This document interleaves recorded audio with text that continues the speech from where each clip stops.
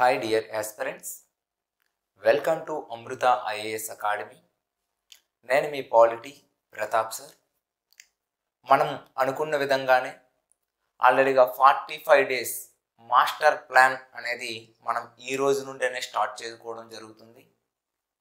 అందులో భాగంగా polity test series అంటే ఫార్టీ ఫైవ్ డేస్లో మీకు టోటల్ సబ్జెక్ట్ అండ్ కరెంట్ పాలిటీలో ఉండేటువంటి ప్రతి విషయాన్ని కవర్ చేస్తూ ఈ టెస్ట్ సిరీస్ అనేది ప్రారంభించడం అనేది జరిగింది.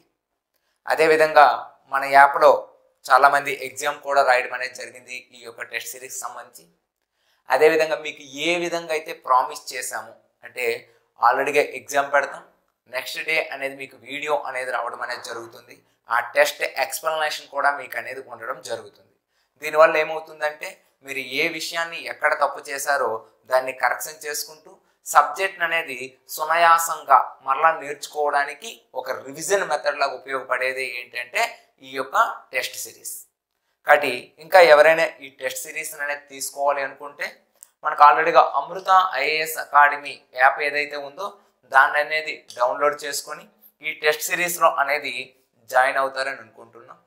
అదేవిధంగా మన కోర్స్ కూడా రీసెంట్గా కరెంట్ పాలిటీ అంశాలనే జత చేస్తూ రీసెంట్గా కంప్లీట్ కావడం అనేది కూడా జరిగింది. ఇక మన యొక్క టెస్ట్ సిరీస్లో భాగంగా టుడే ఎగ్జామ్ రాసిన ప్రతి ఒక్కరికి కూడా చాలా థ్యాంక్స్ అండి. అదేవిధంగా మీరు రాసినటువంటి ఎగ్జామ్లో ఏదైనా తప్పులు ఉంటే ఇప్పుడు నా ఎక్స్ప్లెనేషన్ ద్వారా మీరు ఏం చేస్తారంటే కరెక్షన్ చేసుకోవడం జరుగుతుంది. అదేవిధంగా మన టెస్ట్ సిరీస్ మరియు మన టెస్ట్ సిరీస్ యొక్క ఎక్స్ప్లెనేషన్ అనేది ఎవరికైనా నచ్చినట్లయితే ఖచ్చితంగా మీరు ఏంటంటే ఒక కామెంట్ రూపంలో ఒక వీడియో రూపంలో అనేది మన అమృత ఐఏఎస్ అకాడమిక్ అనేది మీ యొక్క అభిప్రాయాన్ని కూడా తెలియజేయడం జరుగుతుందని నేను కోరుకుంటున్నాను. ఎందుకంటే ఆ వీడియో ద్వారా ప్రధానంగా మరొక పది మందికి అనేది మన సబ్జెక్ట్ అనేది అందివ్వాలనేదే మన ప్రధాన ఉద్దేశం. రైట్? ఇంకా ఏదేమైనప్పటికీ కూడా మన టెస్ట్ సిరీస్ యొక్క ఎక్స్ప్లెనేషన్లోకి నేను వెళ్ళిపోవడం జరుగుతుంది. టుడే మీరు టెస్ట్ రాశారు. ఆ టెస్ట్ సిరీస్లో భాగంగా ఫస్ట్ క్వశ్చన్ మీరు చూస్తున్నారు. ఆల్రెడీగా ఫస్ట్ టెస్ట్ సిరీస్లో భాగంగా మొదటి నుండి మనకు వెళ్ళడం జరుగుతుంది. ఆల్రెడీగా నలభై ఐదు రోజులు అనేది ఈ యొక్క ఎగ్జామ్ షెడ్యూల్లో ఫస్ట్ టెస్ట్ వన్ అనేది దేని మీద మనకు జరిగిందంటే ఎవల్యూషన్ ఆఫ్ ఇండియన్ కాన్స్టిట్యూషన్ దీన్నే మనం భారత రాజ్యాంగ పరిణామ క్రమం గురించి మాట్లాడుకోవడం జరుగుతుంది. టోటల్గా ఫిఫ్టీ క్వశ్చన్స్ అనేది ప్రతి చాప్టర్ వైజ్ ఆల్రెడీ మీకు టైం టేబుల్ ఇవ్వడం పడింది. కాబట్టి ఆ టైం టేబుల్ ప్రకారంగా మీరు చదువుకుంటారు డే బై డే మీకు డే బై డే అనేది ఎగ్జామ్ పెడతాం. డే బై డే తర్వాత మీకు ఏమవుతుందంటే ఒక వీడియో రూపంలో ఎక్స్ప్లెనేషన్ కూడా వస్తుంది. రైట్ కాబట్టి ఇక క్వశ్చన్ అనేది ఎక్స్ప్లెనేషన్ చేసుకునే ముందు మనం ప్రధానంగా ఫస్ట్ క్వశ్చన్ చూసుకున్నట్లయితే ఏమన్నాం? ఈ క్రింది వాక్యాలు ఏవైతే ఉన్నాయో వాటిని పరిశీలించండి అని పిలవడం అనేది జరిగింది. ఇక్కడ రెండు విషయాలు ఇవ్వడం జరిగింది. ఫస్ట్ స్టేట్మెంట్ ఏ భారత ప్రభుత్వ చట్టం పంతొమ్మిది వందల పంతొమ్మిది ద్వారా భారత శాసన వ్యవస్థను అధిక ప్రాతినిధ్యాన్ని కల్పించబడింది మరియు మొదటిసారిగా ద్విసభన అనేది ఏర్పాటు చేశారు. సెకండ్ స్టేట్మెంట్ ఏంటి? భారత ప్రభుత్వ చట్టం నైన్టీన్ థర్టీ ఫైవ్ ప్రొవెన్సీలు మరియు భారతీయ రాజ్యాలను భాగాలుగా కలిగిన ఒక సమైక్య వ్యవస్థను అనేది నిర్దేశించబడింది అనేది. ఈ రెండు కూడా మనకి ఈ రెండు చట్టాలు కూడా చాలా ఇంపార్టెంట్ ఒకటి మనకేంటి? పంతొమ్మిది పంతొమ్మిది చట్టం మీద ఇవ్వడం జరిగింది. రెండో స్టేట్మెంట్ నైన్టీన్ థర్టీ ఫైవ్ మీద ఇవ్వడం జరిగింది. దీనికి మీకు ఆన్సర్ ఏమవుతుందంటే ఏ మరియు బి అనేది ఆన్సర్ కావటం జరుగుతుంది. ఇక ఎక్స్ప్లెనేషన్ చూసుకున్నట్లయితే పంతొమ్మిది పంతొమ్మిది చట్టం అంటున్నాం. యాక్చువల్గా భారత రాజ్యాంగంలో భారత రాజ్యాంగంలో మనకి పంతొమ్మిది పంతొమ్మిది చట్టాన్ని ఏమంటున్నాం మనం? మాంటేంగ్ చేమ్స్ఫర్డ్ యాక్ట్ అని పిలవడం జరుగుతుంది. ఈ యొక్క మాంటేంగ్ చేమ్స్ఫర్డ్ యాక్ట్ అనేది ప్రధానంగా రావడానికి గల ప్రధాన కారణం ఏమిటి? రావడానికి గల ప్రధానమైనటువంటి కారణం ఏంటంటే భారతీయులకు ఒక బాధ్యతాయుతమైనటువంటి ప్రభుత్వాన్ని అందివ్వడం అనేది జరుగుతుంది. అలా బాధ్యతాయుతమైనటువంటి ప్రభుత్వాన్ని భారతీయులకు అనేది అందివ్వడం కోసం వచ్చినటువంటి ఒక చట్టమే ఏంటంటే నైన్టీన్ నైన్టీన్ యాక్ట్. మరి ఈ చట్టాన్ని మనకు తెలిసిన విధంగా భారత రాజ్య కార్యదర్శి మరియు భారత వైస్రై. అంటే భారత వైస్రయ్ చేమ్స్ఫర్డ్ మరియు భారత రాజ్య కార్యదర్శి మాంటింగ్.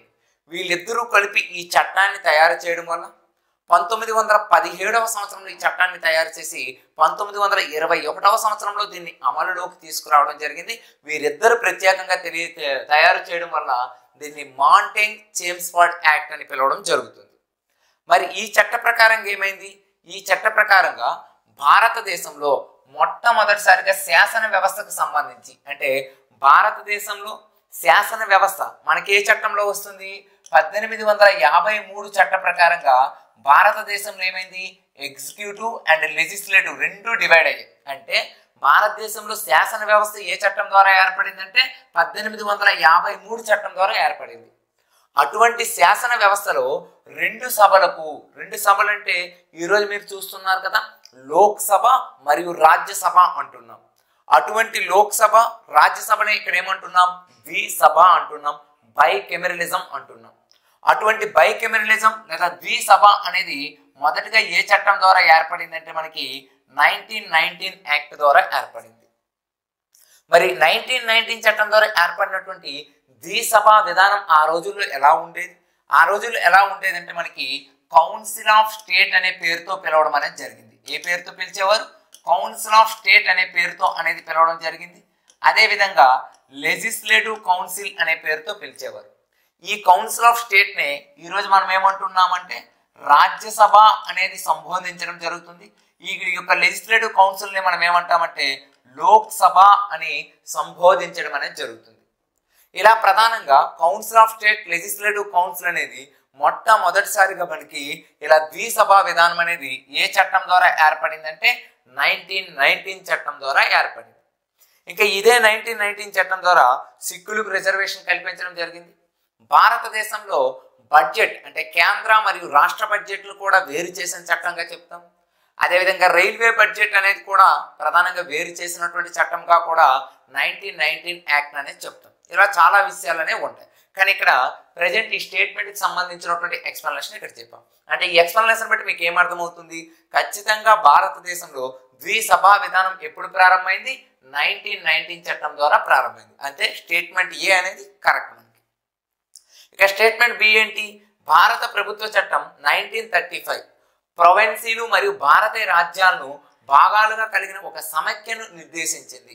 యాక్చువల్గా మనకి మొట్టమొదటిసారిగా బ్రిటిష్ వారి కాలంలో సమైక్య ఫెడరేషన్ అనేది ఉండాలి అనేటువంటి ఉద్దేశంతో మొట్టమొదటిసారిగా పంతొమ్మిది వందల ఇరవై ఏడవ సంవత్సరంలో సైమన్ కమిషన్కు వ్యతిరేకంగా అనేది తిరుగుబాటు అనేది చేస్తాం మనం. అంటే భారతీయులకు అనేది సమైక్య ప్రభుత్వాన్ని ఏర్పాటు చేయండి అంటాం. ఇదే ప్రస్తావన మళ్ళీ ఎక్కడ వస్తుంది మనకి?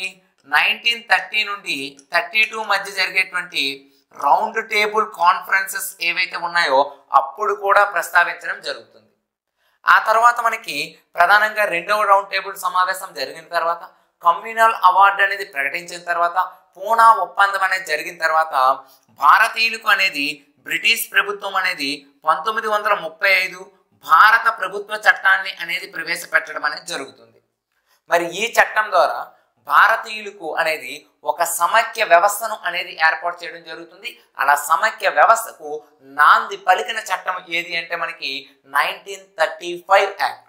అందుకే ఇక్కడ ఇచ్చినటువంటి స్టేట్మెంట్ బట్టి సమైక్యను నిర్దేశించినటువంటి చట్టం ఏదంటే మనకి నైన్టీన్ థర్టీ ఫైవ్. అంటే ఇక్కడ ఇచ్చిన ఎక్స్ప్లెనేషన్లో ఆప్షన్ ఏ మనకు కరెక్ట్ అదేవిధంగా స్టేట్మెంట్ బి కరెక్ట్ కాబట్టి ఇక్కడ ఏ అండ్ బి అనేది ఆన్సర్ కావటం జరిగింది అని అభ్యర్థులు గుర్తుపెట్టుకోవాలి. ఇక question number two question number two చాలా సింపుల్గా మీకు ఇవ్వడం జరిగింది. వన్ లైన్ ఆన్సర్ కింద ఇవ్వడం జరిగింది. ఏమంటున్నాం? ఈ క్రింది చట్టాల్లో భారత ప్రభుత్వ చట్టం కానిది ఏది అని అన్నాం మనం.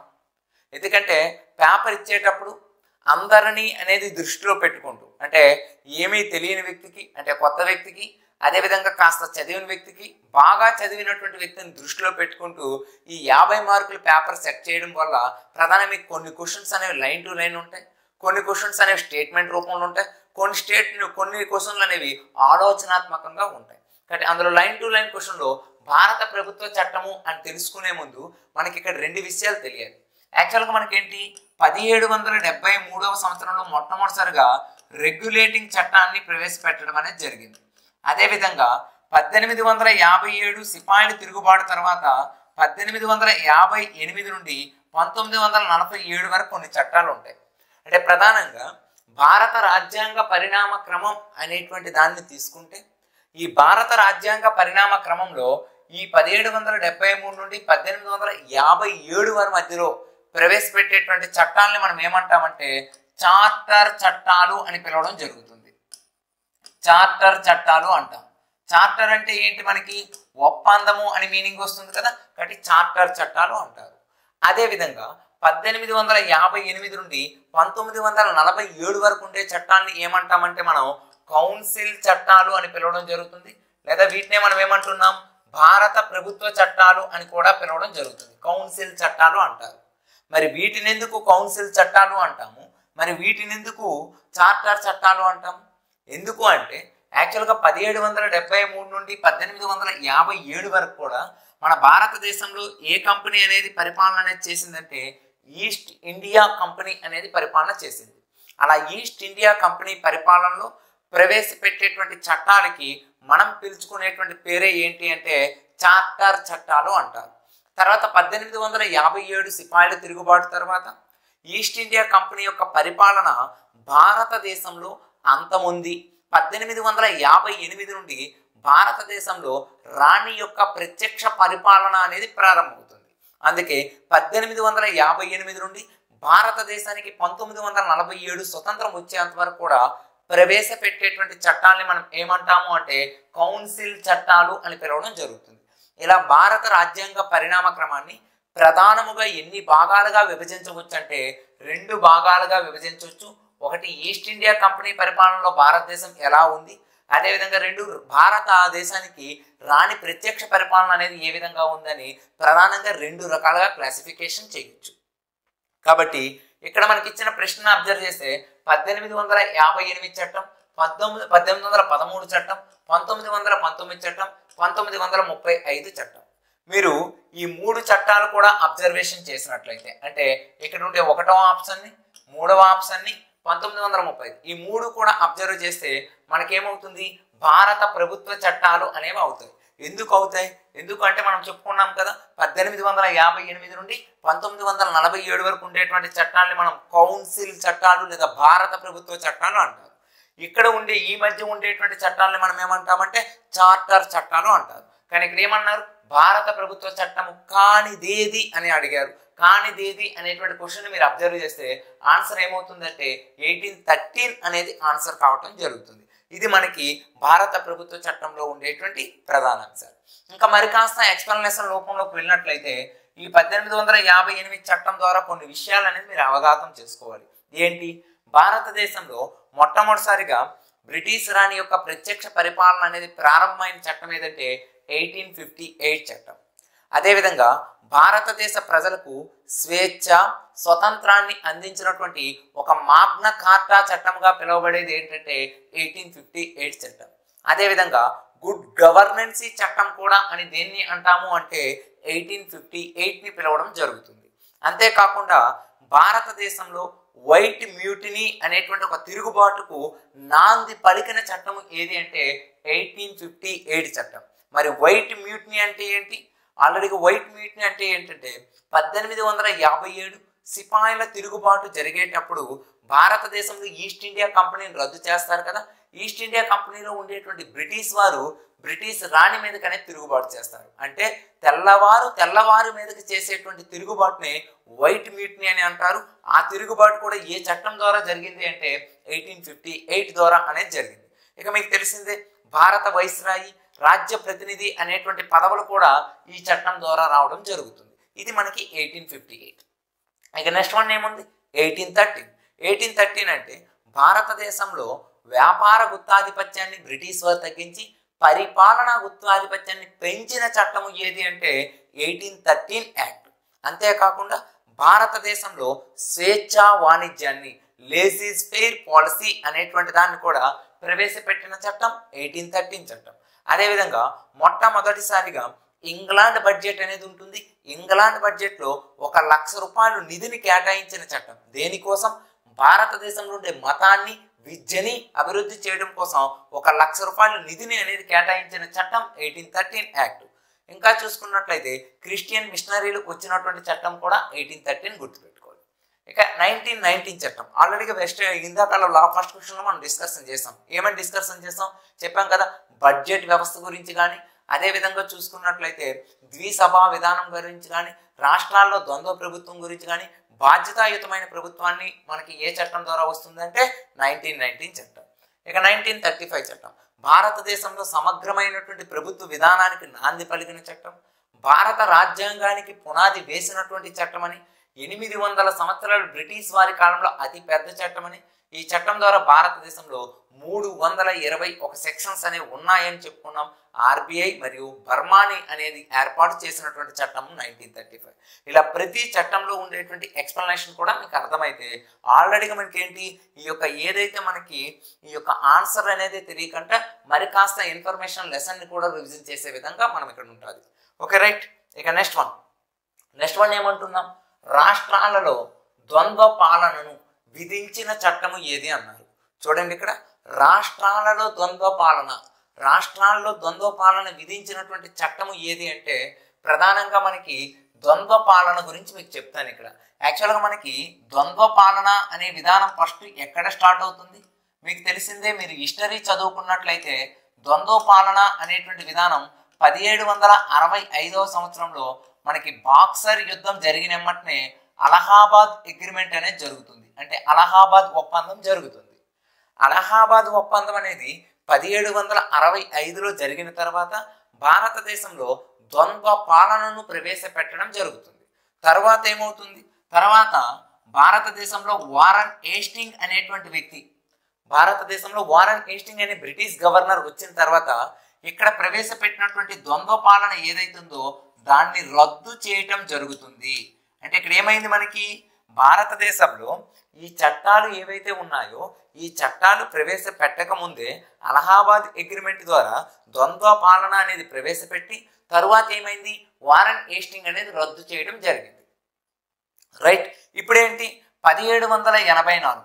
పదిహేడు వందల ఎనభై నాలుగు ద్వారా కూడా మళ్ళా భారతదేశంలో డయార్కీ అనేటువంటి పేరుతో భారతదేశంలో ఏ పరిపాలన అనేది తెస్తారంటే ద్వంద్వ పాలన అనేది తీసుకురావటం జరుగుతుంది. మరలా దీన్ని ఎప్పుడు రద్దు చేస్తారు? ఎప్పుడు రద్దు చేస్తారంటే పద్దెనిమిది వందల యాభై ఎనిమిదవ చట్టం ద్వారా. అంటే దీన్ని మనం కౌన్సిల్ చట్టం అంటున్నాం కదా. పద్దెనిమిది వందల యాభై ఎనిమిది విక్టోరియా మహారాణి ప్రకటన ద్వారా ఈ ద్వంద్వ పాలన అనే దాన్ని రద్దు చేయడం జరుగుతుంది. అలా రద్దు చేసిన తరువాత మరలా ఏమవుతుంది? మరలా నైన్టీన్ నైన్టీన్ యాక్ట్. దీన్నే మనం ఏమంటున్నాం? మాంటెంగ్ చేమ్స్ఫార్డ్ యాక్ట్ అనేసి అంటున్నాం ఈ మాంటెంగ్ చేమ్స్ఫార్డ్ యాక్ట్ ద్వారా మళ్ళీ ఏం చేస్తారంటే మనకి ఈ యొక్క ద్వంద్వ ప్రభుత్వం అంటే రాష్ట్రాల్లో ద్వంద్వ ప్రభుత్వాన్ని తీసుకురావడం జరుగుతుంది. మళ్ళీ నైన్టీన్ థర్టీ ఫైవ్ ద్వారా రాష్ట్రాల్లో రద్దు చేసి ఎక్కడ తయారు ఎక్కడ తీసుకురావడం జరుగుతుందంటే నైన్టీన్ థర్టీ ఫైవ్ ద్వారా కేంద్రంలో ద్వంద్వ పాలన చేస్తారు. ఇది మనకి ద్వంద్వ పాలనకు సంబంధించి చట్టాల్లో ఇచ్చిన రకం. మరి ఇక్కడ ఏమడిగారు మనకి? రాష్ట్రాల్లో ద్వంద్వ పాలనను విధించినటువంటి చట్టము ఏమిటి అని అడిగారు. రాష్ట్రాల్లో ద్వంద్వ పాలన అన్నారు మనకి. మొట్టమొదటిసారిగా రాష్ట్రాల్లో ద్వంద్వ పాలన ఎక్కడ ప్రారంభమైందంటే నైన్టీన్ నైన్టీన్ చట్టం ద్వారా అనేది ప్రారంభమైంది. మనకి ఈ రాష్ట్రంలో ఉండే ద్వంద్వ పాలన రద్దు చేసి కేంద్రంలో ద్వంద్వ పాలన ఎప్పుడు ప్రవేశపెడతారు మనకి? నైన్టీన్ థర్టీ ఫైవ్ చట్టం ద్వారా ప్రవేశపెట్టడం జరుగుతుంది. కానీ ఇక్కడ రాష్ట్రాల్లో ద్వంద్వ పాలనను విధించిన చట్టము ఏది అన్నారు కాబట్టి మనకి ఇక్కడ ఆన్సర్ ఏమవుతుందంటే ఆప్షన్ టూ అనేది ఆన్సర్ కావడం జరుగుతుంది. అదేవిధంగా ఇక్కడ రాష్ట్రము అనేది తీసి ఇక్కడ ఏంటి కేంద్రంలో ద్వంద్వ పాలన ప్రవేశపెట్టిన చట్టము ఏది అంటే అప్పుడు మీకు ఏమవుతుంది ఆప్షన్ థర్డ్ అనేది ఆన్సర్ కావటం అనేది జరుగుతుంది. అదేవిధంగా ద్వంద్వ పాలన అనేది రద్దు చేసిన చట్టము ఏది అంటే అప్పుడు మీకు ఆప్షన్ ఫోర్ అనేది ఆన్సర్ కావటం అనేది జరుగుతుంది అని గుర్తుపెట్టుకోవాలి అలా ఒక సైంటిఫిక్గా ఇక్కడ మనకు ఒక క్వశ్చన్లో అనేది ఒకటి చూసాము అంటే దాని యొక్క హిస్టోరికల్ బ్యాక్గ్రౌండ్ మొత్తం కూడా మనకు గుర్తు రావాలి. ఇప్పుడు చూడండి ద్వంద్వ పాలన అనేటువంటి అంశం క్వశ్చన్లో ఇచ్చారు. మరి ద్వంద్వ పాలన గురించి ఇక్కడ మీకు క్లారిటీ అనేది వచ్చి ఉంటుంది. ద్వంద్వ పాలన బ్రిటిష్ వారి కాలంలో ఎక్కడ ప్రారంభమవుతుందంటే అలహాబాద్ అగ్రిమెంట్ ద్వారా ప్రారంభమవుతుంది. అలా ప్రారంభమైంది Bengal governor general Warren Hastings వచ్చిన తర్వాత రద్దు చేస్తారు. ఇక్కడ రద్దు అయిపోయింది. కాబట్టి ఇది ఒక స్టేట్మెంట్ మీకు. రెండోది ఏంటి? రెండు సెవెంటీన్ ఎయిటీ ఫోర్. మీరు చదువుకున్నారు. పిట్స్ ఇండియా చట్టం అంటున్నాం.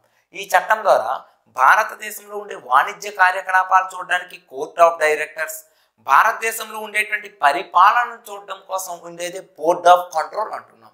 ఇలా ద్వంద్వ పాలన మళ్ళా పరిచయం చేసిన చట్టం పిట్స్ ఇండియా చట్టం సెవెంటీన్ ఎయిటీ ఫోర్. మళ్ళీ ఇప్పుడేంటి? ఇది ఈస్ట్ ఇండియా కంపెనీ కాలంలో ప్రవేశపెట్టారు కాబట్టి మరలా మనకి ఈస్ట్ ఇండియా కంపెనీ అనేది వెళ్ళిపోయింది కాబట్టి ఎయిటీన్ ఫిఫ్టీ ఎయిట్లో రాణి పరిపాలన అనేది వచ్చింది కాబట్టి ఎయిటీన్ ఫిఫ్టీ ఎయిట్లో మరలా ఏం చేశారు? ఇక్కడ రద్దు చేయటం జరిగింది. అంటే ద్వంద్వ పాలన ప్రవేశపెట్టారు మరలా రద్దు చేశారు.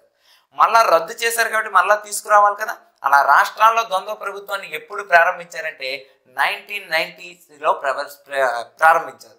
కానీ నైన్టీన్ నైన్టీన్లో వచ్చింది మనకి ద్వంద్వ ప్రభుత్వం కాదు బాధ్యతాయుత ప్రభుత్వాన్ని భారతీయులు కావాలి. మరి బాధ్యతాయుతమైన ప్రభుత్వం కోసమే కదా నైన్టీన్ నైన్టీన్ ప్రవేశపెట్టారు. మరి బాధ్యతాయుతమైన ప్రభుత్వం ఇవ్వకుండా ద్వంద్వ ప్రభుత్వాన్ని ఎందుకు బ్రిటిష్ వరిస్తారని రాష్ట్రాల్లో రద్దు చేయమని కోరితే అప్పుడు రాష్ట్రాల్లో రద్దు చేసి కేంద్రంలో ద్వంద్వ ప్రభుత్వాన్ని నైన్టీన్ థర్టీ ఫైవ్లో తీసుకురావడం జరిగింది. ఇది మనకి ద్వంద్వ ప్రభుత్వానికి సంబంధించి. మరి ఇంకా ఎప్పుడూ కూడా ద్వంద్వ ప్రభుత్వం మీద మీకు ప్రశ్న అనేది అడిగితే మన భారత రాజ్యాంగ పరిణామ క్రమంలో ఈ సిస్టమేటిక్ గుర్తుంటే ఈజీగా మీరు ఆన్సర్ చేయడం జరుగుతుంది. ఓకేనా? Right. Next one. Next one చూసుకున్నట్లయితే మనకి మౌంట్ బాటన్ ప్రణాళిక లక్ష్యం ఏమిటి? అసలు ఈ మౌంట్ బాటన్ ఎవరు? ప్రణాళిక ఏమిటి? లక్ష్యం ఏమిటి అనేది చూద్దాం. మీకు తెలిసిందే భారతదేశంలో స్వతంత్ర పోరాటం జరుగుతున్న సందర్భంలో నైన్టీన్ థర్టీ ఫైవ్ యాక్ట్ అనేది బ్రిటిష్ వారు ప్రవేశపెట్టినటువంటి అతిపెద్ద చట్టం. ఈ చట్టాన్ని భారతీయుడికి అనేది ప్రధానంగా ఎలా ఉంటుందంటే కొన్ని రకాలైనటువంటి విధానాలు అనేవి ఇందులో లేకపోవడం వల్ల ఈ చట్టాన్ని కూడా భారతీయులు అనేది వ్యతిరేకిస్తారు. ఏమని వ్యతిరేకిస్తారు? గట్టి బ్రేకులు అనేది ఉండి యంత్రం లేనటువంటి చట్టముగా ఏ చట్టాన్ని పిలుస్తామంటే నైన్టీన్ థర్టీ ఫైవ్ చట్టం. ఆ తర్వాత ఏమవుతుంది? పంతొమ్మిది వందల ముప్పై తొమ్మిది డిసెంబర్ ఇరవై రెండవ తేదీ. అంటే ప్రధానంగా మనకి ప్రపంచవ్యాప్తంగానే చూసుకున్నట్లయితే మొదటి రెండవ ప్రపంచ యుద్ధం అనేది ఇక్కడ ప్రారంభం కావడం జరుగుతుంది. పంతొమ్మిది వందల ముప్పై తొమ్మిది నుండి పంతొమ్మిది వందల నలభై ఐదు వరకు రెండో ప్రపంచ యుద్ధం అనేది జరుగుతుంది. ఈ రెండవ ప్రపంచ యుద్ధంలో పం మనకేంటి? మన యొక్క ప్రమేయం లేకుండా భారతీయులు ఈ రెండో ప్రపంచ యుద్ధంలో బ్రిటిష్ వారికి అనేది సహకరిస్తున్నారని ఏకపక్షంగా అనేది ప్రకటిస్తారు బ్రిటిష్ వారు. దానికి భారతీయులు ఏంటి? మా యొక్క అంగీకారం లేకుండా అసలు ప్రకటన చేయడానికి మీరెవరు? కాబట్టి మేము దీనికి ఒప్పుకోము అనేసి టోటల్గా ఇండియన్ నేషనల్ కాంగ్రెస్లో ఉండేటువంటి సభ్యులు నైన్టీన్ థర్టీ నైన్ డిసెంబర్ ఇరవై రెండున ఏం చేస్తారు మనకి? రాజీనామా చేయడం జరుగుతుంది. మరి వీరికి రాజీనామా ఎందుకు చేశారు? భారతీయులు కొంచెం రాజ్యాంగపరమైనటువంటి అంశాలపైన చర్చించడం కోసం పంతొమ్మిది వందల నలభైలో మనకు ఎవరిని పంపిస్తారంటే బ్రిటిష్ గవర్నర్ అయినటువంటి లిన్ లితిగో అనేటువంటి వ్యక్తి భారతదేశానికి వస్తారు. అందుకే ఇక్కడ మనకి లిన్ లితిగో ప్రతిపాదనలు అంటారు. తర్వాత ఇక్కడ కూడా భారతీయులు కన్విన్స్ అవ్వకపోతే పంతొమ్మిది వందల నలభై రెండవ సంవత్సరంలో మనకి ఏమొస్తుందంటే క్రిప్స్ మిషన్ అనేది రావడం జరుగుతుంది. ఇక క్రిప్స్ తర్వాత పంతొమ్మిది వందల నలభై ఆరులో మనకి క్యాబినెట్ మిషన్ అనేది రావడం జరుగుతుంది. ఈ క్యాబినెట్ మిషన్ ఏంటి? భారతదేశానికి వస్తుంది. కానీ అప్పటి వరకు ఉండేటువంటి ద్విజాతి సిద్ధాంతం ద్విజాతి సిద్ధాంతాన్ని మొట్టమొదటిసారిగా ఎవరు చెప్పారు మనకి? మహమ్మద్ ఆలీ జిన్నా అనేటువంటి వ్యక్తి చెప్తారు. అంటే ఒక దేశము కాదు రెండు స్వతంత్రాలు కలిగినటువంటి దేశాలకు ఇవ్వాలని కోరుతారు. అదే ద్విజాతి సిద్ధాంతం. అయితే ఎప్పుడైతే ద్విజాతి సిద్ధాంతానికి క్యాబినెట్ మిషన్ అనేది వ్యతిరేకించి ఒక భారతదేశానికి మాత్రమే మేము స్వతంత్రం ఇస్తాని అని అనుకుంటాదో అప్పుడు క్యాబినెట్ మిషన్కు వ్యతిరేకంగా నైన్టీన్ ఫార్టీ సిక్స్ ఆగస్టు పదహారున డైరెక్ట్ యాక్షన్ డేకి పిలుపునివ్వడం జరుగుతుంది. మరి ఈ డైరెక్ట్ యాక్షన్ డే ద్వారా ఎన్నో హిందువులు మత హిందువులు ముస్లింల యొక్క మత కల్లోలాలు జరుగుతాయి. సుమారుగా పది లక్షల జనాభా అనేది హింసకు గురవుతారు. మరి ఇటువంటి హింసను చూడలేక ఈ ద్విజాతి సిద్ధాంతం ఉంటేనే బాగుంటుందని బ్రిటిష్ ప్రభుత్వానికి మౌంట్ బాటన్ పంతొమ్మిది వందల నలభై ఏడు జూన్ మూడవ తేదీన ఒక లెటర్ రాయడం జరుగుతుంది. ఆ లెటర్ని ఇక్కడ ఏమంటున్నామంటే మౌంట్ బాటన్ ప్రణాళిక అంటారు. That is the Mountbatten planning మరి ఈ మౌంట్ బాటన్ ప్లానింగ్ ఎప్పుడు మనకి? జూన్ మూడు. అందుకే దీనికి ఏమని పిలుస్తారు మనకి? జూన్ త్రీ ప్లానింగ్ అని కూడా పిలుస్తారు. డిక్కీ బాట్ ప్లాన్ అని పిలుస్తారు. బాల్కాన్ ప్లాన్ అని కూడా పిలవడం జరుగుతుంది. ఇలా వివిధ నేమ్స్ అనేవి ఉన్నాయి. అయితే ఇక్కడ ఏంటి మనకి? మరి మౌంట్ బాటన్ యొక్క ప్రధానమైనటువంటి లక్ష్యము ఏమిటి అని అడిగారు. ఆప్షన్స్ అబ్జర్వ్ చేయండి. సమాఖ్య ప్రభుత్వాన్ని ఏర్పాటు చేయడం. యాక్చువల్గా మౌంట్ బాటన్ అనేది సమాఖ్య ప్రభుత్వాన్ని కోరలేదు. ఎందుకు? ఎందుకంటే సమాఖ్య ప్రభుత్వాన్ని ఎప్పుడు nineteen twenty seven Simon commission నుండి మనం కోరుతున్నాం. బ్రిటిష్ వారు దీన్ని ఎప్పుడు అనేది సహకారం చేశారంటే నైన్టీన్ థర్టీ ఫైవ్లో అనేది సహకారం చేశారు. అంటే నైన్టీన్ థర్టీ ఫైవ్ ద్వారా భారతదేశానికి సమైక్య ప్రభుత్వాన్ని ఏర్పాటు చేశారు. కాబట్టి ఈ ఆప్షన్ కాదు సమైక్య ప్రభుత్వం అనేది. సెకండ్ ఆప్షన్ ఏముంది మనకి? రాజ్యాంగ సభ ద్వారా భారత రాజ్యాంగ రూపకల్పనకు మార్గదర్శకాలు అనేది ఇవ్వడం. యాక్చువల్గా మనకి రాజ్యాంగ సభ ద్వారా భారత రాజ్యాంగ రూపకల్పనకు మార్గదర్శకాలు ఇవ్వడం అనేది ఎవరు ప్రకటించారు మనకి? నైన్టీన్ ఫార్టీ సిక్స్లో వచ్చినటువంటి క్యాబినెట్ మిషన్ ఏదైతే ఉంటుందో ఆ క్యాబినెట్ మిషన్ యొక్క తీర్మానం ఏమిటి అంటే అప్పుడు మీరు ఇది ఆన్సర్ అనేది ఇవ్వాలి. అంటే ఇక్కడ రెండో స్టేట్మెంట్ దేనికి లక్ష్యం మనకి క్యాబినెట్ మిషన్ యొక్క లక్ష్యం. అంటే క్యాబినెట్ మిషన్ యొక్క ఉద్దేశం ఏంటంటే రాజ్యాంగ సభ ద్వారా రాజ్యాంగ రూపకల్పన అనేది మార్గదర్శకం అనేది. ఇది ఎవరు మనకి? క్యాబినెట్ మిషన్ అనేది. నైన్టీన్ ఫార్టీ సిక్స్ మార్చ్ ఇరవై నాలుగున వస్తుంది కదా ఆ క్యాబినెట్ మిషన్ యొక్క లక్ష్యం అవుతుంది. ఇక మూడో స్టేట్మెంట్ అవుతుంది. బ్రిటిష్ వారి నుండి భారతీయులకు అధికారాన్ని బదిలీ చేసేటువంటి ఒక పద్ధతి. నెక్స్ట్ వన్ ఏంటి? ఆ కాలంలో చెలరేగిన మత కల్లోలాలను నివారించుటకై ప్లానింగ్. యాక్చువల్గా ఇది మనకు అయినప్పుడు కూడా దీని ప్రధాన ఉద్దేశం ఏంటి? బ్రిటిష్ వారి నుండి భారతీయులకు అనేది అధికారాన్ని బదలాయించాలి. అలా అధికారాన్ని బదలాయించడం వల్ల కొంత కూల్గా అనేది భారతదేశం ఉంటుంది. ఎన్నో మత కల్లాలు అనేవి ఆగిపోతాయనే ఉద్దేశంతో ఇక్కడ ప్రధాన ఉద్దేశంగా దేన్ని చెప్తాము అంటే మనకి బ్రిటిష్ వారి నుండి భారతీయులకు అధికారాన్ని బదిలీ చేసే పద్ధతే ఎవరి యొక్క ప్రణాళిక అంటే మౌంట్ బాటన్ యొక్క ప్రణాళిక. ఎప్పుడైతే ఈ విధంగా చేస్తారో భారతదేశంలో కొంత మత కొల్లాలు అనేది అరికట్టవచ్చు. ఇదే మౌంట్ బాటన్ ప్రణాళికలో మౌంట్ బాటన్ ఏం చెప్తారంటే ఒక దేశము కాదు రెండు దేశాలు ఇవ్వాలి. అదే ఇండియా పాకిస్తాన్ అనే రెండు దేశాలు ఇవ్వాలి. అలా ఒక ప్లానింగ్ తయారు చేసి ఎక్కడికి పంపిస్తారంటే బ్రిటిష్ గవర్నమెంట్కి అనేది పంపిస్తారు. అలా బ్రిటిష్ గవర్నమెంట్ మౌంట్ బాటన్లో ఉండేటువంటి ప్రణాళికనే రేపు భారత స్వతంత్ర చట్టం నైన్టీన్ ఫార్టీ సెవెన్ ద్వారా అమలుపరచడం జరుగుతుంది. అంటే ఇక్కడ రెండో ప్రశ్న మీకు ఏమడుగుతారు భారత ప్రభుత్వ చట్టం నైన్టీన్ ఫార్టీ సెవెన్ రూపకల్పనకు మూలమైంది ఏంటి అని అడుగుతారు. ఏంటి అంటే మనకి మౌంట్ బాటన్ ప్రణాళికే మూలమైంది అని గుర్తుపెట్టుకోండి. ఇది మనకి మౌంట్ బాటన్ ప్రణాళిక రావడానికి గల మెయిన్ కాజు అందులో ఉండేటువంటి ప్రధానమైన అంశాలు అని గుర్తుపెట్టుకోవాలి. ఇక నెక్స్ట్ ప్రశ్న. నెక్స్ట్ ప్రశ్న మనకి ఏంటంటే మాంటెంగ్ చేమ్స్పాడ్ సంస్కరణలు దేనికి సంబంధించింది అని అడిగారు.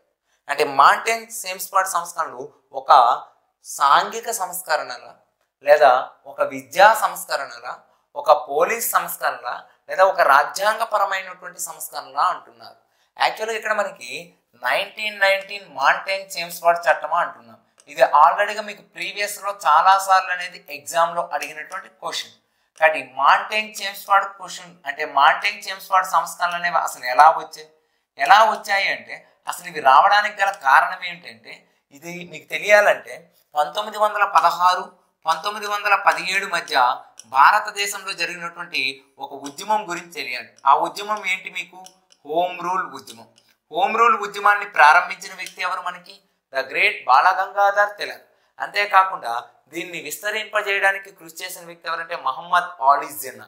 ఇలా ఉత్తర భారతదేశంలో ఈ ఉద్యమం అనేది ప్రారంభమవుతుంది. ఇదే విధంగా ఉత్తర భారతదేశంలో మనకేంటి? ఇతను అరెస్ట్ చేసిన తర్వాత ఈ ఉద్యమం దక్షిణ భారతదేశంలో మద్రాస్ ప్రాంతంలో అడయూర్ అనేటువంటి కేంద్రంగా చేసుకుంటూ ప్రధానంగా ఏ ఉద్యమం ప్రారంభమవుతుందంటే ఈ హోమ్ రూల్ ఉద్యమం ప్రారంభమవుతుంది. మరి ఈ హోమ్ రూల్ ఉద్యమం యొక్క ప్రధాన లక్ష్యం ఏంటి? భారతీయులు ఏదైతే డిమాండ్ చేస్తున్నారో భారతదేశంలో కొన్ని రాజ్యాంగ పరిపాలనా రక్షణలు ప్రవేశపెట్టండి. ఎందుకంటే హోమ్ రూల్ అంటే ఏంటి? భారతదేశాన్ని మీరే పరిపాలించండి. మీ పరిపాలనలో భాగంగా భారతీయులకు స్వేచ్ఛ స్వతంత్రాన్ని ఇచ్చేటువంటి కొన్ని సంస్కరణల్ని ప్రవేశపెట్టండి అని భారతీయులు ఎవరిని ఆర్జిస్తున్నారు? బ్రిటిష్ వారిని ఆర్జిస్తున్నారు. అలా హోమ్ రూల్ అంటే ఏంటంటే ఒక బాధ్యతాయుతమైన ప్రభుత్వాన్ని ప్రవేశపెట్టండి. భారతీయుని రక్షణ కోసం భారతీయుల యొక్క స్వేచ్ఛ కోసం కొన్ని రకాలైనటువంటి రాజ్యాంగ సంస్కరణలు చేయండి అని ప్రధానంగా ఆ రోజుల్లో ప్రజలు హోమ్ రూల్ ఉద్యమం ద్వారా బ్రిటిష్ ప్రభుత్వాన్ని ఆర్జిస్తుంటారు. అటువంటి విషయాలన్నింటినీ ప్రాతిపదికగా తీసుకుంటూ పంతొమ్మిది వందల పంతొమ్మిదిలో భారతదేశంలో బాధ్యతాయుతమైనటువంటి ప్రభుత్వాన్ని అందివ్వడం కోసం అదేవిధంగా కొన్ని ఇంపార్టెంట్ అయిన రాజ్యాంగ సంస్కరణలు తీసుకురావడం కోసం ప్రవేశపెట్టిన చట్టమే మాంటేన్ చేమ్స్ఫార్డ్ యాక్ట్ అనేసి అంటున్నాం. అటువంటి మాంటేన్ చేమ్స్ఫార్డ్ యాక్ట్ అనేది దీని యొక్క ఏ సంస్కరణలు ప్రవేశపెట్టడం కోసం చేశాయంటే రాజ్యాంగపరమైనటువంటి సంస్కరణలు ప్రవేశపెట్టడం కోసం చేయడం అనేది జరిగిందని గుర్తుపెట్టుకోవాలి. ఇక విద్య. విద్య అనేది మనకి ఎక్కడ? ప్రధానంగా ఎయిటీన్ థర్టీన్లో మనకి రావడం జరుగుతుంది. ఎయిటీన్ థర్టీ త్రీ యాక్ట్ ప్రకారంగా భారతదేశంలో ఆంగ్ల విద్యా విధానాన్ని ప్రవేశపెట్టడం జరుగుతుంది. అంటే విద్య అనేటువంటి పదం వచ్చింది కాబట్టి దానికి సంబంధించిన చట్టాలు. ఎందుకు? భారతదేశంలో విద్యను అభివృద్ధి చేయడం కోసం ఒక లక్ష రూపాయలు అనేది కేటాయించిన చట్టం ఎయిటీన్ థర్టీన్ యాక్ట్. అదేవిధంగా ఆంగ్ల విద్యను ప్రవేశపెట్టిన చట్టం ఎయిటీన్ థర్టీ త్రీ యాక్ట్. ఇక సాంఘిక సంస్కరణలు అంటారా? పోలీస్ సంస్కరణలు అంటారా. ఈ రెండింటి గురించి మనకి ఏ చట్టంలో కూడా చెప్పలేదు. ఇంకా పోలీస్ వ్యవస్థను ఏర్పాటు చేశారు భారతదేశంలో. పద్దెనిమిది వందల అరవై ఒకటి కౌన్సిల్ యాక్ట్ ద్వారా పద్దెనిమిది వందల అరవై రెండు నుండి పోలీస్ వ్యవస్థ అనేది భారతదేశంలోకి వచ్చింది. మనం చట్టాలను అబ్జర్వేషన్ చేస్తే. కానీ ఇక్కడ రాజ్యాంగపరమైనటువంటి సంస్కరణలు అంటున్నారు కాబట్టి రాజ్యాంగ సంస్కరణలు అనేవి ప్రధానంగా దేని యొక్క లక్ష్యం అంటే మాంటైన్ జేమ్స్ పాడ్ యొక్క లక్ష్యము. ఇది ఎప్పుడు అనేది ప్రవేశపెట్టారంటే నైన్టీన్ నైన్టీన్ అదేవిధంగా అమల్లోకి ఎప్పుడు వచ్చిందంటే నైన్టీన్ ట్వంటీ వన్ నుండి అమలులోకి రావటం జరిగిందని గుర్తుపెట్టుకోవాలి. Next one. ఈ క్రింది ఏ చట్టము ద్వారా భారతదేశంలో ఎన్నికల సూత్రమును ప్రవేశపెట్టడం జరిగింది? ఎన్నికలు అంటున్నాం. అంటే ప్రధానంగా ఎన్నికల గురించి చెప్పిన చట్టము ఏది అని గుర్తుండాలి.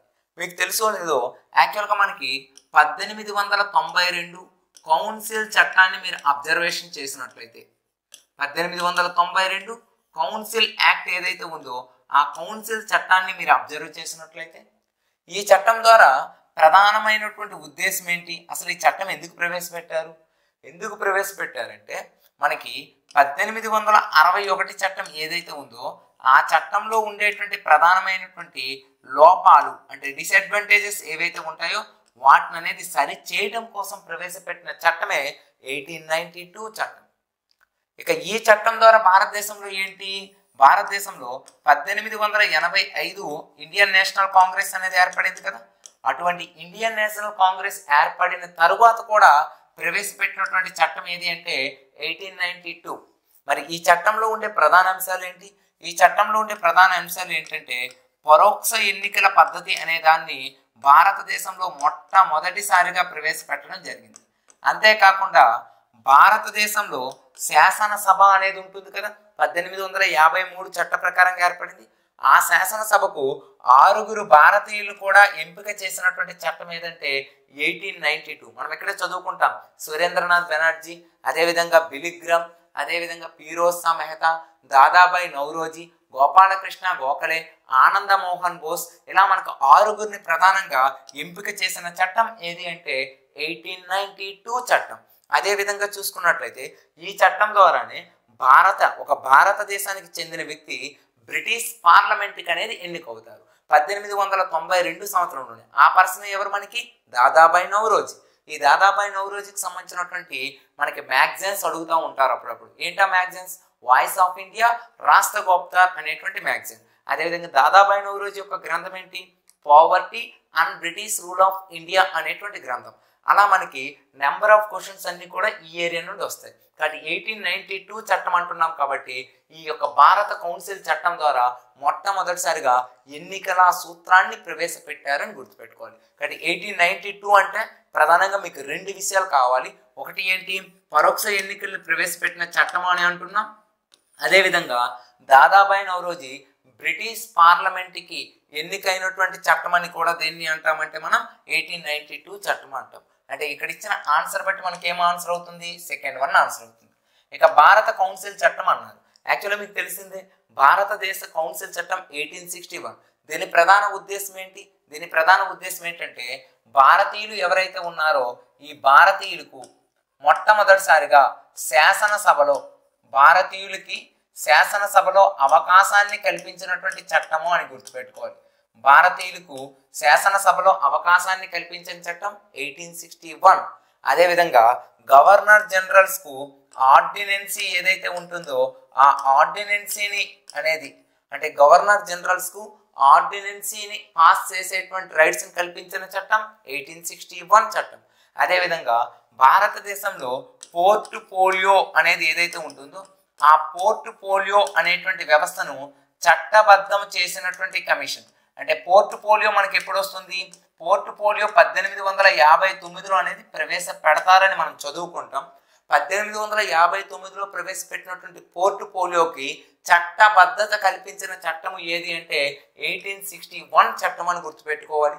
ఎయిటీన్ సిక్స్టీలో బడ్జెట్ విధానాన్ని తీసుకురావడం జరిగింది. పద్దెనిమిది వందల అరవైలో బడ్జెట్ విధానాన్ని తెచ్చినప్పుడు కూడా ఏ చట్టం ద్వారా బడ్జెట్ విధానాన్ని తీసుకొస్తారంటే ఎయిటీన్ సిక్స్టీ వన్ ద్వారా బడ్జెట్ విధానాన్ని తీసుకురావడం జరుగుతుంది. ఇక ఎయిటీన్ సిక్స్టీ టూలో భారతదేశంలో హైకోర్టు వ్యవస్థని పోలీస్ వ్యవస్థను అనేది తీసుకురావడం జరుగుతుంది. అలా ఈ చట్టంలో ఉండే ప్రధాన అంశాలన్నీ కూడా ఎయిటీన్ సిక్స్టీ వన్లో మనం చెప్పుకున్నాం. ఇందులో నెంబర్ ఆఫ్ టైమ్స్ మనకు ప్రశ్న ఎక్కడి నుండి అడిగారు అంటే ప్రధానంగా భారతీయులకు అనేది శాసనసభలో అవకాశాన్ని కల్పించిన చట్టము ఏది అని అడిగారు. అవకాశాన్ని కల్పిన చట్టము ఏది అంటే భారత కౌన్సిల్ చట్టం ఎయిటీన్ సిక్స్టీ వన్ అని గుర్తుపెట్టుకోవాలి. ఇక నెక్స్ట్ వన్ ఏంటి మనకి? నైన్టీన్ నాట్ నైన్ చట్టము అని అంటున్నాం. ఈ నైన్టీన్ నాట్ నైన్ చట్టాన్ని ఏమంటున్నాం? మింటో మార్లే సంస్కరణలు అంటున్నాం. మరి ఈ మింటో మార్లే సంస్కరణ ప్రధానంగా చూసుకున్నట్లయితే భారతదేశంలో మనకి ప్రధానంగా ముస్లింలకు ప్రత్యేక నియోజక వర్గాలను ఏ చట్టం ద్వారా కేటాయించారంటే నైన్టీన్ నాట్ నైన్ చట్టం. అంతేకాకుండా భారతదేశంలో మొట్టమొదటిసారిగా ఎగ్జిక్యూటివ్ కౌన్సిల్ ఏదైతే ఉందో ఆ ఎగ్జిక్యూటివ్ కౌన్సిల్కి ఒక భారతీయ వ్యక్తిని ఏ చట్టం ద్వారా నియమించారంటే నైన్టీన్ నాట్ నైన్ చట్టం ద్వారా. మరి ఆ భారతీయ వ్యక్తి ఎవరంటే సత్యేంద్రనాథ్ ఠాగూర్. ఇది ప్రధానంగా ప్రీవియస్లో అడిగిన ప్రశ్న. భారతదేశంలో మొట్టమొదటిసారిగా కార్యనిర్వాహక వర్గానికి ఏ భారతీయుడిని ఎంపిక చేశారంటే సత్యేంద్రనాథ్ ఠాగూర్. ఇక్కడ రెండు గుర్తుపెట్టుకోండి. సత్యేంద్రనాథ్ సిన్హా ఎవరు? సత్యేంద్రనాథ్ ఠాగూర్ ఎవరు? సత్యేంద్రనాథ్ ఠాగూర్ అనేది ఇప్పుడు మీకు చెప్పా. గవర్నర్ కౌన్సిల్కి మొట్టమొదటి భారతీయుడు. సత్యేంద్రనాథ్ సిన్హా ఎవరు? భారతదేశంలో ఫస్ట్ ఐసిఎస్ అంటే ఇండియన్ సివిల్ సర్వీసర్ ఎవరంటే సత్యేంద్రనాథ్ సిన్హా. సారీ ఇక్కడ ఒకసారి కరెక్షన్ మళ్ళీ పెట్టుకోండి ఇక్కడ రాస్తున్నాను. సత్యేంద్రనాథ్ సిన్హా అనేటువంటి వ్యక్తి ఇంకా ఎవరు మనకి? సత్యేంద్రనాథ్ ఠాగూర్ అనేటువంటి వ్యక్తి. ఈ సత్యేంద్రనాథ్ ఠాగూర్ అనేటువంటి వ్యక్తి సత్యేంద్రనాథ్ సిన్హా అనేటువంటి వ్యక్తి. వీళ్ళిద్దరి పేర్లు కూడా కన్ఫ్యూజ్ అవ్వద్దు. ఇక్కడ జాగ్రత్తగా ఏంటి? సత్యేంద్రనాథ్ సిన్హా సత్యేంద్రనాథ్ ఠాగూర్ ఉన్నారు కదా.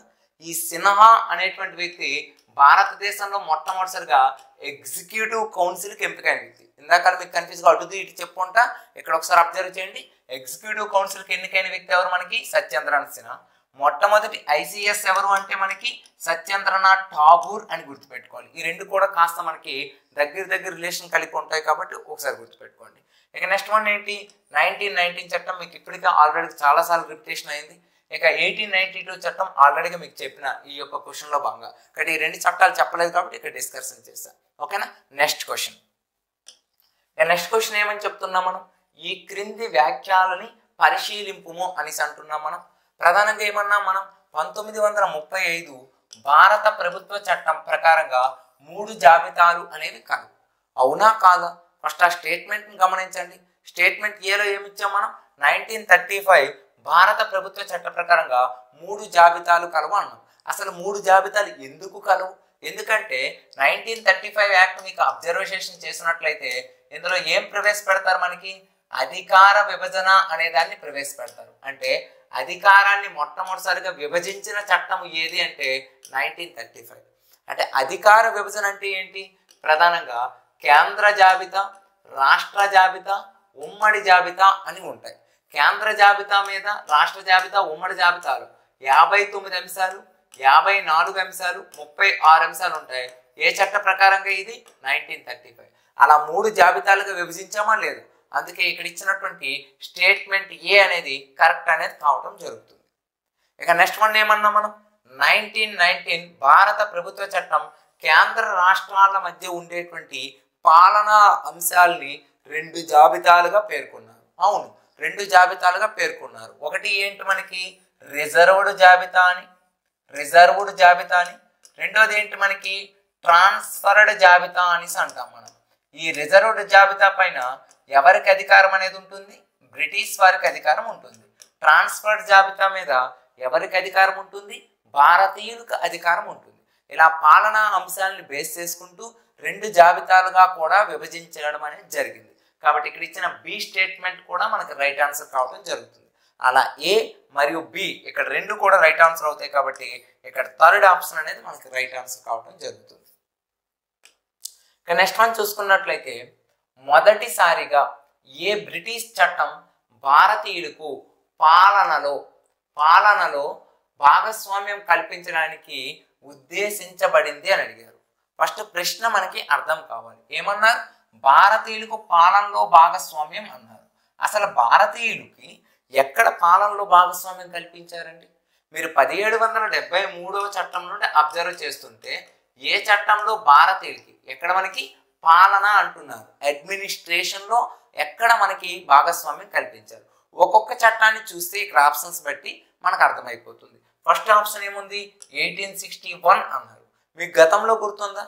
ఎయిటీన్ సిక్స్టీ వన్లో ఏమి చెప్పినా? ఏం చెప్పానంటే భారతీయులకు శాసనసభలో అవకాశాన్ని కల్పించిన చట్టం ఎయిటీన్ సిక్స్టీ వన్ అని లాస్ట్ బిట్ అనేది ఎక్స్ప్లెనేషన్ చేసేటప్పుడు మీకు చెప్పాను. అంటే భారతీయులకు శాసనసభలో అవకాశాన్ని కల్పించారు అంటే ఏంటి? పరిపాలనలో అనేది పాలనలో అనేది అవకాశం ఇచ్చినట్టే కదా? కాబట్టి ఇక్కడ ఆన్సర్ ఏమవుతుందంటే ఫస్ట్ ఆప్షన్లోనే మనకు ఆన్సర్ అనేది దొరుకుతుంది. ఇక రెండు ఏమిటి? ఇండియన్ కౌన్సిల్ చట్టం ఎయిటీన్ నైన్టీ టూ మరలా మీకు ఆల్రెడీగా చెప్పాను ఆల్రెడీగా ఎయిటీన్ నైన్టీ టూ ఏంటి? ఎయిటీన్ ఎయిటీ ఫైవ్ తర్వాత ఐఎన్సీ ఏర్పడిన తర్వాత మొదటి చట్టం అని చెప్పా. పరోక్ష ఎన్నికల వ్యవస్థను ప్రవేశపెట్టిన చట్టం అని చెప్పాను. అదేవిధంగా భారతీయులకు బడ్జెట్ను కూడా అంటే బడ్జెట్ తప్ప మిగతా అన్ని విషయాల్లో కూడా మాట్లాడడానికి అవకాశాన్ని కల్పించారు. కానీ ఒకవేళ భారతీయులు ఎవరైనా మాట్లాడవలసి వస్తే ఏం చేసేవారు? గవర్నర్ జనరల్ యొక్క పర్మిషన్ బేస్ చేసుకుని మాట్లాడేవారు. ఈ పద్ధతి భారతీయులకు అనేది నచ్చలేదు. నచ్చలేదు కాబట్టి ఈ చట్టాన్ని భారతీయులు ఏం చేశారు? వ్యతిరేకించడం జరిగింది. ఇది వ్యతిరేకించడం వల్లే వచ్చిన చట్టం ఏంటి? నైన్టీన్ నాట్ నైన్ చట్టం అనేది రావడం జరిగింది. అలా మనకి ఎయిటీన్ నైన్టీ టూ చట్టం ఏదైతే ఉందో ఈ చట్టంలో ప్రధానంగా ఎగ్జిక్యూటివ్ కానీ లెజిస్లేటివ్లో కానీ భారతీయులకి అంటే భారతీయులకి ఎగ్జిక్యూటివ్లో అంటే ప్రధానంగా చూసుకుంటే ఆరుగురికి అవకాశాన్ని కల్పించారు. అంతకు ముందర ఎయిటీన్ సిక్స్టీ వన్లోనే మనకేంటి? ముగ్గురికి అనేది అవకాశాన్ని కల్పించారు. మీరు చదువుకుంటారు. పాటియాల రాజు దినకర్ రాజు నరేంద్రన్ అనేటువంటి ముగ్గురు భారతీయులకు అనేది శాసనసభలో అవకాశాన్ని కల్పించారు. కాబట్టి భారతీయులకు పాలనలో భాగస్వామ్యాన్ని కల్పించిన చట్టం ఏది అంటే ఎయిటీన్ సిక్స్టీ వన్ చట్టము అని గుర్తుపెట్టుకోవాలి. ఇక నైన్టీన్ నాట్ నైన్ చట్టం గురించి మనం నేర్చుకున్నాం. నైన్టీన్ థర్టీ ఫైవ్ చట్టం గురించి కూడా మీకు రిపిటేషన్లో అనేది రావడం జరిగింది. కాబట్టి ఇక్కడ ఆన్సర్ ఏమవుతుంది మనకి? Eighteen sixty one council act అనేది అవుతుంది. ఈ స్టేట్మెంట్ చూడండి ఒకసారి. పద్దెనిమిది వందల ముప్పై మూడు చార్టర్ చట్టం ప్రకారం ప్రవేశపెట్టిన అంశాల్లో ఈ క్రింది వాటిలో సరికాని అంశము ఏమిటి అన్నారు మనకి. కాబట్టి సరికాని అంశాన్ని ఇప్పుడు మీరు గుర్తించవలసి వస్తుంది. ఏమని గుర్తిస్తారు? ఈస్ట్ ఇండియా కంపెనీ యొక్క వాణిజ్య కార్యకలాపాలను అనేది రద్దు చేసింది. అవునా కాదా ఒకసారి చూడండి. ఈస్ట్ ఇండియా కంపెనీ యొక్క వాణిజ్య కార్యకలాపాలను రద్దు చేసిందంటే ఇది కరెక్ట్ స్టేట్మెంట్ మనకి. వాణిజ్య కార్యకలాపాలు రద్దు నెక్స్ట్ వన్ ఏంటి? కౌన్సిల్లో ఉన్న ఉన్నతాధికారిని గవర్నర్ జనరల్ ఆఫ్ ఇండియాగా మార్చింది. మనం చదువుకుంటాం కదా ఎయిటీన్ థర్టీ త్రీ యాక్ట్ ప్రకారంగా అప్పటి వరకు మనకేంటి? గవర్నర్ జనరల్ ఆఫ్ బెంగాల్ అనేది ఉండేది. ఎందుకు?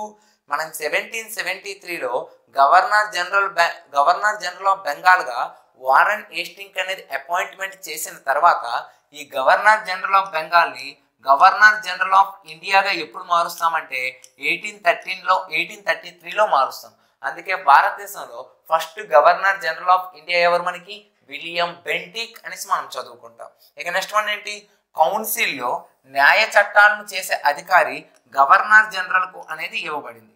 కౌన్సిల్లో న్యాయ చట్టాల కోసం అనేది ప్రధానంగా మనకు చూసుకున్నట్లయితే గవర్నర్ జనరల్కి ఇచ్చారు. ఈ చట్ట ప్రకారంగా కదా మనకి భారతదేశంలో ఏమి ఏర్పాటు చేశామని చెప్పుకుంటున్నాం. లా కమిషన్ని ఏర్పాటు చేశారు. లా కమిషన్ ఏర్పాటులో ఒక కీలక పాత్రను పోషించిన వ్యక్తి ఎవరు? వ్యక్తి ఎవరంటే ఒక కీలక పాత్రను పోషించినటువంటి వ్యక్తి మనకి లా కమిషన్లో మెకాలే అనేటువంటి వ్యక్తి కీలక పాత్రను పోషించడం జరిగిందని గుర్తుపెట్టుకోవాలి. అయితే నెక్స్ట్ వన్ ఏంటి? గవర్నర్ జనరల్ కౌన్సిల్లో న్యాయ మండలికి మొదటిసారిగా భారతీయుడిని నియమించారు. ఈ స్టేట్మెంట్ అనేది మనకు రాంగ్. ఎందుకు? ఎందుకు రాంగ్ అంటే గవర్నర్ జనరల్ కౌన్సిల్ యాక్చువల్గా ఒక వ్యక్తిని నియమించారు. ఈ గవర్నర్ జనరల్ కౌన్సిల్ ఏంటి? ఈ గవర్నర్ జనరల్ కౌన్సిల్ అనేది మనకి ఎక్కడ ప్రారంభమవుతుంది గవర్నర్ జనరల్ కౌన్సిల్ అనేది సెవెంటీన్ సెవెంటీ త్రీలో ప్రారంభమవుతుంది. సెవెంటీన్ సెవెంటీ త్రీలో బెంగాల్ గవర్నర్ అనేది మీకు సహాయం అందించడం కోసం నలుగురితో కూడినటువంటి కార్యనిర్వాహక మండలి అనేది ఉంటుంది. ఎప్పుడైతే నలుగురితో కూడిన కార్యనిర్వాహక మండలి ఉంటుందో దీన్ని మనకేంటి? పదిహేడు వందల ఎనభై నాలుగవ సంవత్సరంలో ఈ నాలుగు నుండి ఎక్కడికి తగ్గిస్తారు? ముగ్గురికి అనేది తగ్గిస్తారు. అంటే ప్రజెంట్ గవర్నింగ్ కౌన్సిల్లో seventeen eighty four Pitt's India act ప్రకారంగా ముగ్గురు అనేది ఉండటం జరుగుతుంది. తర్వాత ఏమవుతుంది? ఎయిటీన్ థర్టీ త్రీలో మళ్ళీ ఈ ముగ్గురు ఉండేటువంటి గవర్నింగ్ కౌన్సిల్కి మరొక న్యాయబద్ధమైన వ్యక్తిని అనేది ఎంపిక చేస్తారు.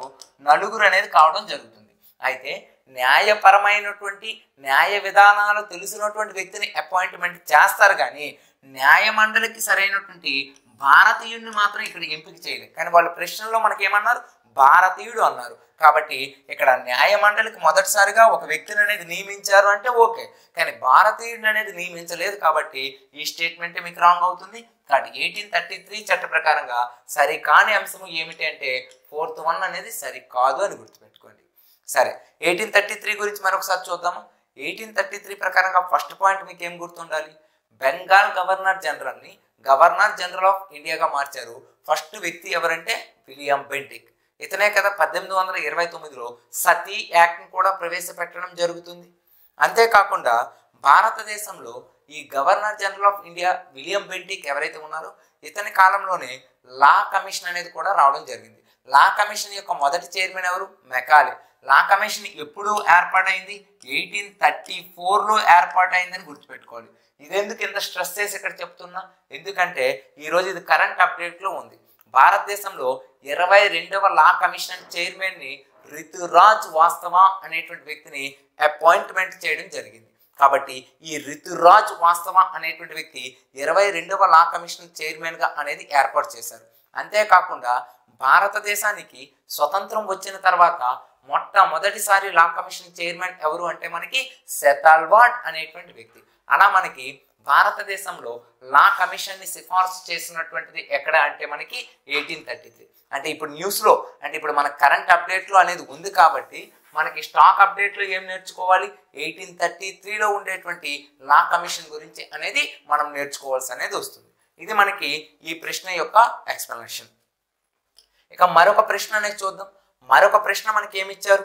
మ్యాచ్ ద ఫాలోయింగ్ ఇవ్వడం అనేది జరిగింది. ఈ మ్యాచ్ ద ఫాలోయింగ్లో మనం చూసుకున్నట్లయితే ఒకవైపు చట్టాలు ఇచ్చారు మరొక వైపు చట్టంలో ఉండేటువంటి అంశాలు ఇవ్వటం జరిగింది. మరి ఏమిటి అని చూసుకున్నట్లయితే భారత ప్రభుత్వ చట్టం నైన్టీన్ థర్టీ ఫైవ్ అంటున్నాం. ఇందులో నైన్టీన్ థర్టీ ఫైవ్కి సంబంధించి చూడండి. ఈస్ట్ ఇండియా కంపెనీ నుండి బ్రిటిష్ చక్రవర్తికి అనేది అధికార బదిలీ నిజంగా అధికార బదిలీ చేసామా లేదు. పద్దెనిమిది వందల యాభై ఎనిమిదవ చట్టం ద్వారా అనేది అధికార బదిలీ అనేది అయింది. అంటే ఈ స్టేట్మెంట్ అనేది కాదు. రెండోది ఏంటి భారతదేశానికి ఆదినివేశ ప్రతిపత్తిని అనేది కల్పించటం. ఇది స్టేట్మెంట్ కూడా కాదు. ప్రొవెన్సీలో స్వయం ప్రతిపత్తిని కల్పించడం ఎస్ యాక్చువల్గా మనకు నైన్టీన్ థర్టీ ఫైవ్ ద్వారా పదకొండు ప్రొవెన్సీస్లు అనేవి ఉన్నాయి. అంటే మనకి ఇప్పుడు ఎలాగైతే ఇరవై ఎనిమిది రాష్ట్రాలు అనేవి ఉన్నాయో ఆ రోజుల్లో కూడా మనకేంటి? పదకొండు ప్రొవెన్సీస్ అనేవి ఉన్నాయి. ఈ పదకొండు ప్రొవెన్సీస్లో స్వయం ప్రతిపత్తిని కల్పించడం జరిగింది. ఎందుకు? నైన్టీన్ నైన్టీన్లో మనం చెప్పుకున్నాం బాధ్యతాయుతమైన ప్రభుత్వాన్ని ఏర్పాటు చేయండి అని. కానీ అప్పుడు బాధ్యతాయుతమైన ప్రభుత్వాన్ని ఏర్పాటు చేయకుండా బ్రిటిష్ వారు నైన్టీన్ నైన్టీన్ చట్టంలో ద్వంద్వ ప్రభుత్వాన్ని ఏర్పాటు చేయడం జరిగింది. దా ద్వంద్వ ప్రభుత్వాన్ని రద్దు చేసి మన బాధ్యతాయుతమైనటువంటి ప్రభుత్వాన్ని ప్రొవెన్సీలో ఎప్పుడు ఏర్పాటు చేశారంటే నైన్టీన్ థర్టీ ఫైవ్ అంటే ఈ స్టేట్మెంట్ మన కరెక్ట్ ఆన్సర్ ఏమవుతుందంటే సి అనేది అవుతుంది. ఇంకా నెక్స్ట్ వన్ ఏంటి? నైన్టీన్ నాట్ నైన్ చట్టం. నైన్టీన్ నాట్ నైన్ చట్టం అంటేనే మీకు బేసిక్గా తెలుస్తుంది ముస్లింలకు ప్రత్యేక నియోజకవర్గాలను కేటాయించిన చట్టం అని తెలుస్తుంది. అందుకే కదా మింటోని మత నియోజకవర్గాల పితామహుడు అని అంటున్నాం. అంటే ఇక్కడ ఏమవుతుంది? నైన్టీన్ నాట్ నైన్ చట్టం ఏదైతే ఉందో ఆ నైన్టీన్ నాట్ నైన్ చట్టాన్ని ముస్లింలకు అనేది ప్రత్యేక నియోజక వర్గాన్ని కేటాయించిన చట్టంగా చెప్తాం మనం. అంతేకాకుండా భారతదేశంలో ప్రధానంగా ఇంకేంటి? నైన్టీన్ నైన్టీన్ చట్టము అని అంటున్నాం. ఈ నైన్టీన్ నైన్టీన్ చట్టం ఏంటి? ప్రొవెన్సీ.